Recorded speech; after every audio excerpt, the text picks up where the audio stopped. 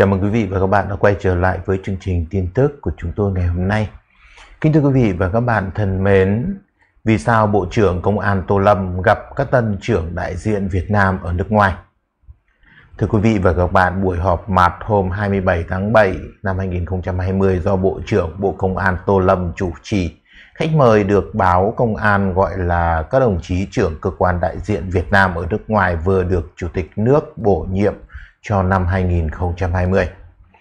Tin nói ngoài Bộ trưởng Tô Lâm còn có sự hiện diện của Thượng tướng Bùi Văn Nam, Ủy viên Trung ương Đảng, Thứ trưởng Bộ Công an,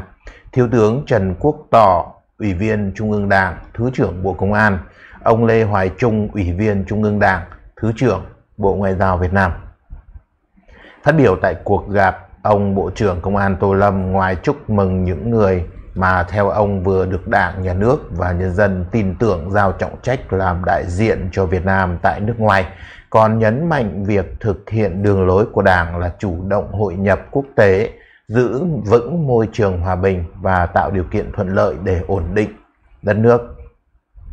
Đối ngoại và hợp tác quốc tế là nhiệm vụ hết sức quan trọng. Ông Tô Lâm nói tiếp, Bộ Ngoại giao nói chung và các cơ quan đại diện ngoại giao của Việt Nam ở nước ngoài nói riêng với sự phối hợp tham mưu của Đảng, Nhà nước mà thành quả là chủ trương chính sách đối ngoại, ngoại giao phù hợp, đưa đất nước hội nhập sâu rộng với quốc tế, góp phần đảm bảo an ninh trật tự và bảo vệ công dân Việt Nam ở nước ngoài. Kỹ sư Trần Bang, một nhà hoạt động tại Sài Gòn cho rằng việc họp mặt như vậy là chuyện bình thường ở Việt Nam có điều lần này khiến dư luận chú ý bình phẩm là vì những chuyện không hay trong ngành ngoại giao 3 năm trở lại đây. Ở đây rõ ràng là Bộ Công an nắm cả an ninh và nắm cả cảnh sát.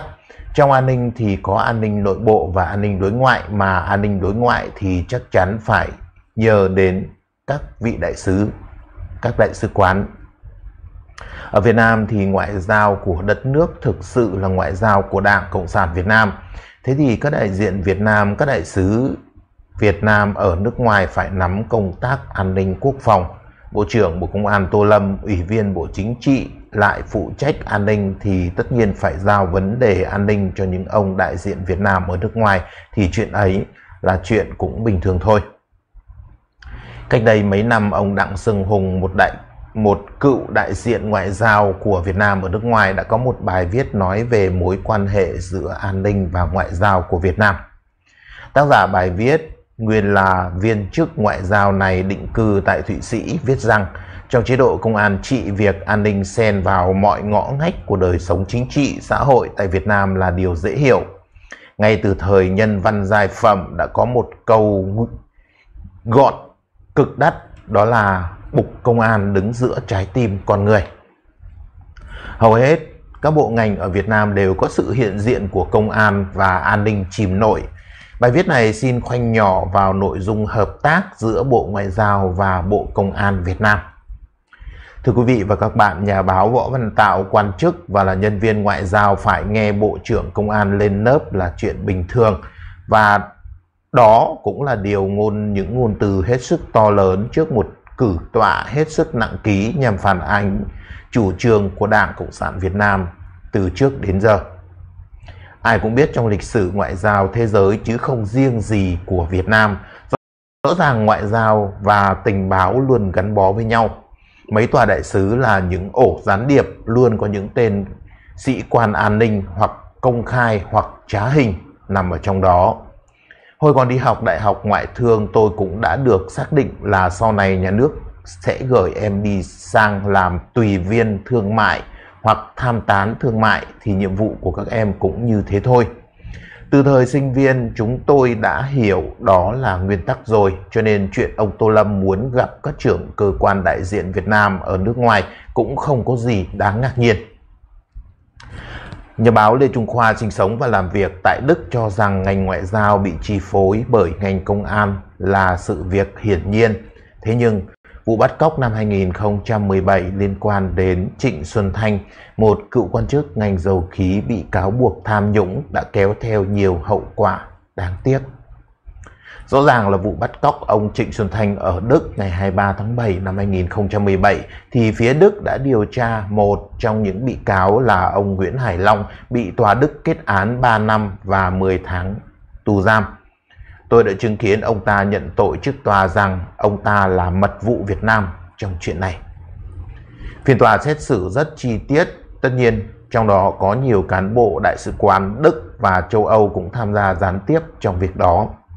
Hậu quả để lại rất nặng nề, có hai chân từ trước đến nay là đại diện Tổng cục 5 tức tình báo của Bộ Công an có đại diện chính thức tại Đức thì bây giờ bị cắt không cho sang nữa. Chân thứ hai là sĩ quan liên lạc của Bộ Công an, trước đây đều có một người nhưng kể từ lúc vụ bắt cóc Trịnh Xuân Thanh xảy ra tại Đức thì không cho người này sang công tác nữa. Lòng tin giữa Việt Nam và Đức coi như phải đi lại từ đầu. Đấy là cái hại cho sự phát triển giao lưu giữa hai nước. Lý do thứ hai để giải thích vì sao Bộ Công an phải theo sát, phải nắm bắt tình hình công việc của quan chức và nhân viên ngoại giao Việt Nam ở nước ngoài là vì lý do có thể thấy được là Việt Nam rất sợ việc tự diễn biến, tự chuyển hóa, đặc biệt bản thân những cán bộ Việt Nam đi nước ngoài, nhiều người sẽ có những sự đánh giá khác với những đánh giá mà Đảng Cộng sản Việt Nam đưa ra. Cái thứ hai là Việt Nam đang thực hiện chủ trương Đảng vừa đưa ra là bảo vệ Tổ quốc từ xa.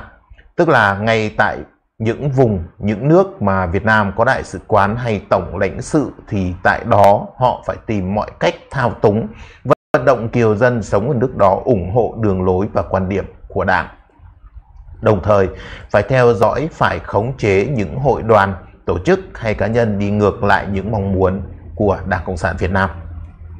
Tiếp lời của nhà báo Lê Trung Khoa, blogger Trần Bang góp ý, Nói đến sứ quán trên thế giới thì thực sự đó là những nơi hoạt động tình báo. Bản thân nước đến đặt cơ sở ngoại giao ở đây là muốn thu thập thông tin tình báo. Nước sở tại bố trí nhân viên vào đấy cũng là để thu thập thông tin ngược lại. Có điều là bí mật hoặc lộ liễu như chuyện của các lãnh sự quán ở Houston hay là ở Thành Đô là chuyện bình thường. Ai quan tâm đến hoạt động ngoại giao đều có thể thấy chuyện đó. Tóm lại không chỉ Việt Nam mà ngay cả các quốc gia khác đều có những cán bộ an ninh hoặc cán bộ tình báo trong cơ quan đại diện, tức là đại sứ quán hay lãnh sự quán ở bất cứ nước sở tại nào. Vấn đề ở đây vẫn theo lời của nhà báo Lê Trung Khoa, nghiệp vụ kém của những điệp viên trá hình cộng thêm sự chỉ đạo chủ quan và bất cần luật pháp quốc tế sẽ gây khủng hoảng song phương như trường hợp Việt Nam và Đức hồi năm 2017. Thưa quý vị và các bạn, trong suốt thời gian từ năm 1972 đến nay, chưa bao giờ thế giới chứng kiến việc Hoa Kỳ thẳng thừng lên án Trung Quốc như thời gian vừa qua.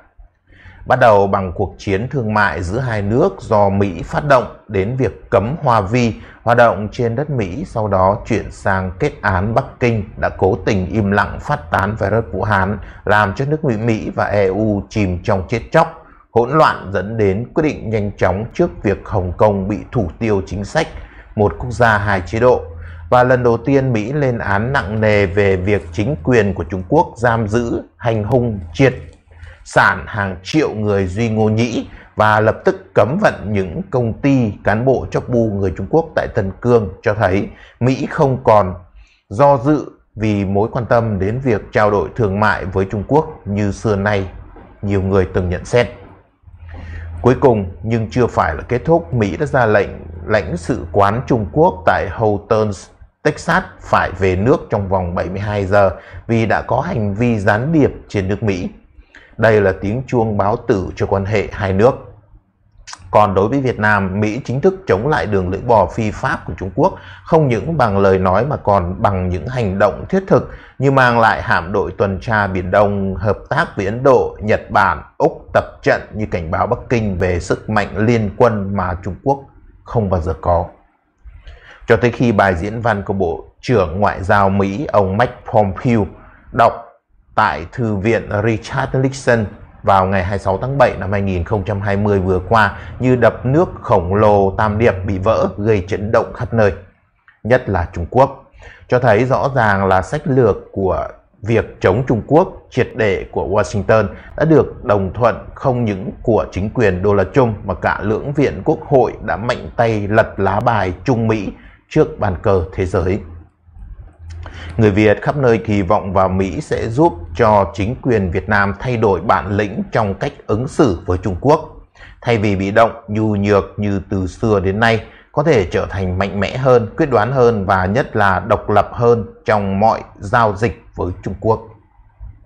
Thưa quý vị và các bạn, thời gian vừa qua cho thấy hầu như bài diễn văn của ông Pompeo chưa đủ khả năng gây phản ứng tích cực từ Hà Nội khi Việt Nam tiếp tục bưng bít những thông tin mà nước Mỹ đưa ra. Điển hình là tờ báo duy nhất và lớn nhất Việt Nam là VN Express sau khi dịch và post lên toàn bộ bài diễn văn lịch sử này chỉ một ngày sau khi đã bị hạ xuống mất tâm. Hành động này giống như báo chí đưa tin hối lộ bị rút bài vì khác với quan điểm của Ban tuyên giáo Trung ương Đảng Cộng sản Việt Nam. Người dân tự hỏi không biết tại sao nhà nước lại làm như vậy và khi nhà nước Mỹ như một cứu tinh duy nhất và khả thi đối với Trung Quốc về vấn đề Biển Đông, nhưng nhà nước lại phản ứng rất tiêu cực nếu không muốn nói là phủ nhận vai trò của Mỹ đối với chủ quyền đất nước hiện nay. Trả lời câu hỏi này chắc chắn phải quay lại với hai điểm quan trọng mà Ngoại trưởng Mike Pompeo nhấn mạnh trong bài phát biểu mạnh mẽ và chuyên sâu của ông. Nó chứng tỏ rằng không ai hiểu rõ Trung Quốc hơn chính quyền Mỹ và vì hiểu nó nên Việt Nam chạy lòng cho vị trí của mình trên bàn cờ thế giới. Thưa quý vị và các bạn, ông Pompeo nhìn nhận chúng ta phải ghi nhớ rằng chế độ Đảng Cộng sản Trung Quốc là chế độ Mark Lenin. Tổng bí thư Tập Cận Bình là một tín đồ đích thực của một ý thức hệ toàn trị bị phá sản. Lời ghi nhớ của ông Pompeo khiến cho Hà Nội bối rối vì cho tới nay bất kể biến động thế nào đi nữa thì Tổng bí thư Nguyễn Phú Trọng vẫn kiên quyết hướng dẫn cả nước đi theo con đường tiến lên chủ nghĩa xã hội. Nếu bắt tay với Mỹ, ông Trọng sẽ không còn việc gì làm vì ông ta chỉ duy nhất một thứ giáo điều, duy nhất một căn tính và duy nhất một quyết tâm. Câu thứ hai của ông Pompeo làm cả hệ thống bất an hơn nữa. Trong nhiều thập kỷ, các nhà lãnh đạo của chúng tôi đã phớt lờ hạ thấp những lời của những nhà bất đồng chính kiến dũng cảm của Trung Quốc. Những người đã cảnh báo chúng tôi về bản chất của chế độ và chúng tôi phải đối mặt. Theo thống kê của nhiều tổ chức nhân quyền thế giới, Việt Nam đang giam giữ khoảng 270 người có tư tưởng và hành động bảo vệ nhân quyền. Cạnh đó, danh sách những người bất đồng chính kiến đang bị theo dõi trù dập, đe dọa lên đến hơn 300 người khác. Đây là sự thật là mối quan ngại của Việt Nam khiến cho các nỗ lực bắt tay với Mỹ để làm đối trọng trước hiểm họa Trung Quốc, áp chế, bức tử bị bỏ qua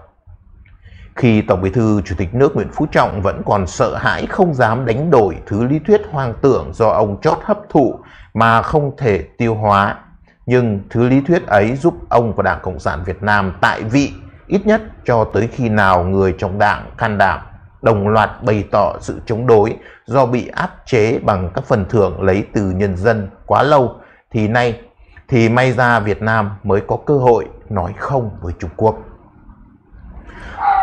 Lúc đó vế thứ hai mà ông Ngoại trưởng Mike Pompeo nói sẽ tự nhiên được hóa giải vì lúc ấy nỗi lo mất đảng không còn nữa. Những nút thắt mà ông Trọng có đủ can đảm vì dân vì nước hay không sẽ còn phải kéo dài ít nhất sau đại hội đảng lần thứ 13 của Đảng Cộng sản Việt Nam mới vỡ hòa lên được. Thưa quý vị và các bạn thân mến, cuối năm rồi Facebook Bùi Năng Phán đã gửi đến cộng đồng mạng một mẩu tin dùng dao Made in China đi ăn cướp bị nạn nhân bẻ gãy cổ làm đôi. Bản tin South China, South China Morning Post hôm qua nói rằng một người đàn ông tên Lu hôm thứ Năm 23 tháng 11 đã xông vào một căn cứ của một phụ nữ độc thân ở Tô Châu. Người đàn ông này rút dao đe dọa người phụ nữ và ra lệnh cho bà ta phải vào phòng ngủ lấy tiền.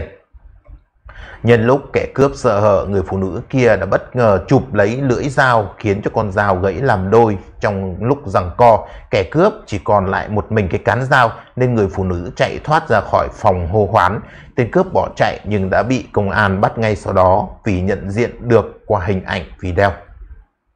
Cũng như cựu đại tướng Bộ trưởng Quốc phòng Phùng Quang Thanh, tôi vốn rất tâm tư về tính bài hoa, thái quá của người dân Việt nên hơi nghi ngại về độ khả tín và khả xác của bản tin thượng dẫn.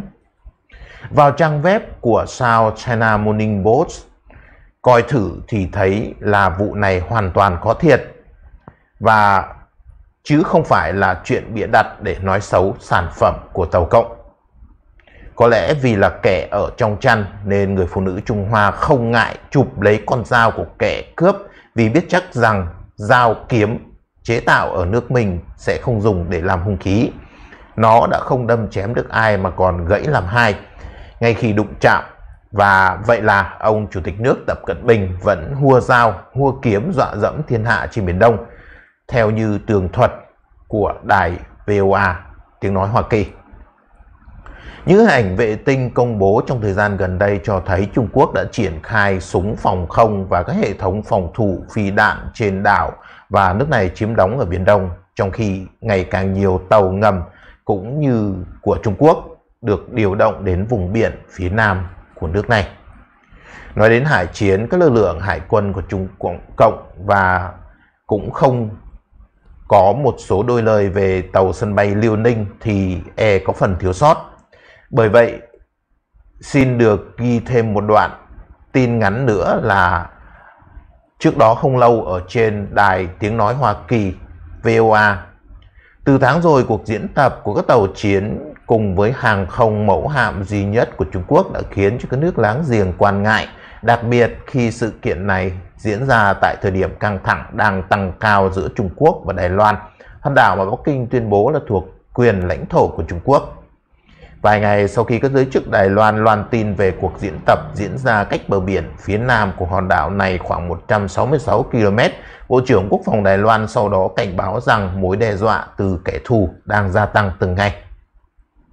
Thoạt nghe cứ như là Biển Đông sắp dậy sóng tới nơi nhưng lắng nghe thì tôi chỉ cảm thấy hơi có chút lăn tăn ở trong lòng.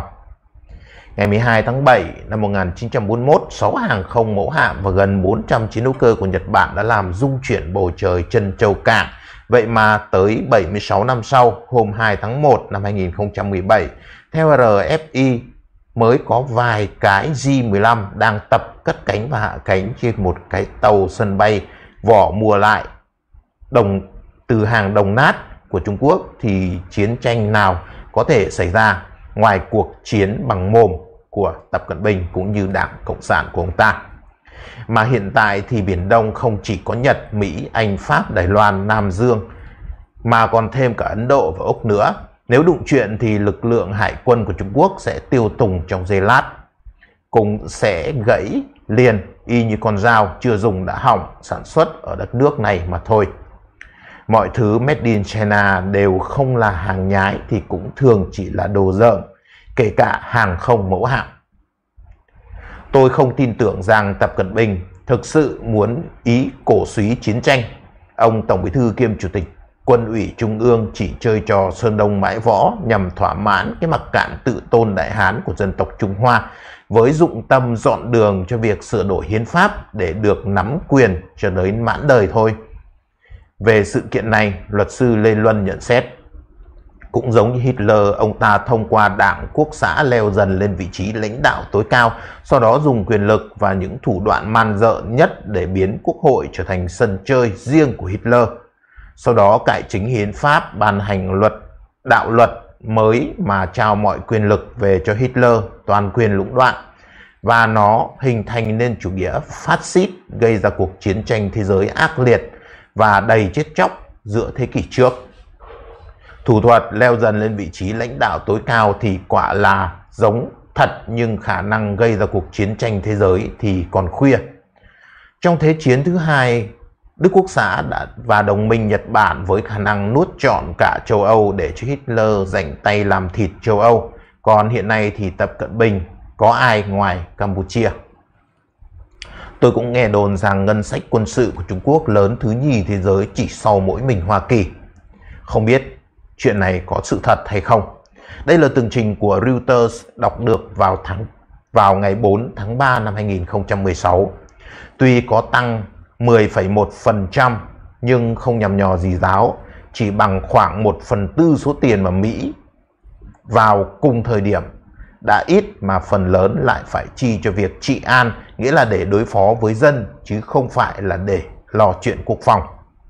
Sở dĩ ngân quỹ phải ưu tiên cho việc đối nội vì thù trong mới thực sự đáng sợ, chứ không phải là giặc ngoài.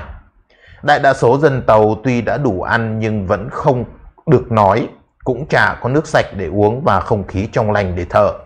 Số còn lại thì có đủ thứ ưu tiên và đặc quyền nhưng lại chả thiết tha gì đến vận mệnh quốc gia.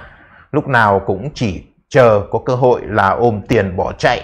Đó là chưa kể những thùng xúc súng có tên là Pháp Luân Công, Nội Mông, Tân Cương, Tây Tạng, Duy Ngô Nhĩ.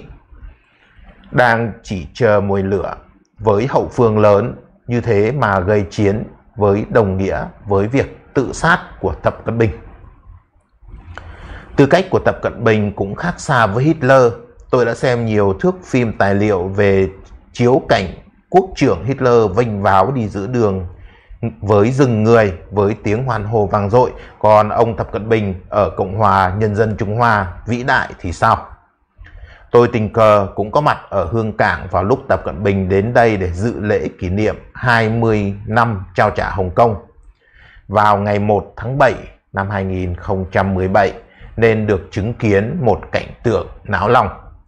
Hôm đó trực thăng vần vũ đầy trời, cảnh sát xuất hiện khắp nơi. Một phần ba lực lượng an ninh hương cảng nghĩa là gần 10.000 nhân viên công lực được huy động để bảo vệ an toàn cho Tập Cận Bình trong khi dân tràn xuống đường biểu tình hô hào đòi quyền tự quyết, phổ thông đầu phiếu, phóng thích và các nhà bất đồng chính kiến Lưu Hiểu Ba. Vợ chồng họ Tập Cận Bình đi xuống máy bay cùng với một lực lượng an ninh vô cùng đông đảo và hùng hậu, dùng phi trường vắng hoe, chỉ có loe ngoe chừng 20 em bé đội nón đỏ, đứng lất phất lá cờ của Hồng Kông. Dân chúng, kể cả báo giới, bị ngăn chặn từ xa. Với đởm lược cỡ này của Tập Cận Bình trở thành người nắm quyền duy nhất ở Trung Hoa lục địa, mà dẫn dắt dân đi ngược lại với xu thế chung của nhân loại và thời đại thì có rất nhiều hy vọng là thằng trả sẽ đưa cả nước tàu xuống hố. Đây thực là chuyện đáng mừng, không chỉ mừng cho hàng tỷ dân Trung Hoa mà còn cả cho dân nội Mông, Tân Cương, Tây Tạng, Duy Ngô Nhĩ, Miên, Miến, Lào và cả người dân Việt Nam nữa. Xin chân thành cảm ơn thời gian theo dõi của quý vị và các bạn đã dành cho chương trình của chúng tôi đến phút cuối. Hãy để lại những lời bình luận góp ý ở bên dưới video để giúp cho chúng tôi thực hiện các chương trình kế tiếp một cách tốt hơn. Hãy bấm nút chia sẻ để cho thông tin được lan tỏa đến với nhiều người hơn.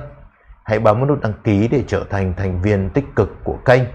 Và đừng quên bấm vào hình quả chuông bên cạnh nút đăng ký để nhận được những thông báo nhanh nhất, sớm nhất về các chương trình của chúng tôi sắp phát hành. Xin chân thành cảm ơn và hẹn gặp lại quý vị và các bạn trong các chương trình kế tiếp của chúng tôi.